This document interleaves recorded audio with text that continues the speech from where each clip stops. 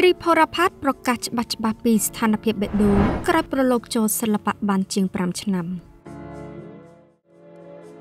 ត្រីផរផាតតារាសម្ដែងប្រុសរូបសង្ហាវ័យ27ឆ្នាំ ដែលមានកម្ពស់ខ្ពស់ស្រឡះដល់ទៅ1.86ម៉ែត្រមានស្នាដៃរឿងល្បីៗគួរឲ្យកត់សម្គាល់ តារាប្រុសចំណូលថ្មីរូបនេះហាក់កំពុងទទួលបានការចាប់អារម្មណ៍ខ្ពស់ពីសំណាក់អ្នកគាំទ្រជាពិសេស fan Fannery ព្រោះតែមានមុខមាត់ស្រស់សង្ហានិងរូបរាងមានសាច់ដុំកង់កង់យ៉ាងណាមិញក្រោយប្រឡូកចូលសិល្បៈអស់ជាង5ឆ្នាំត្រីដែលចិត្តទំលាយពីស្ថានភាពបេះដូងដោយឥតលាក់លៀមថាខ្ញុំសារភាពថា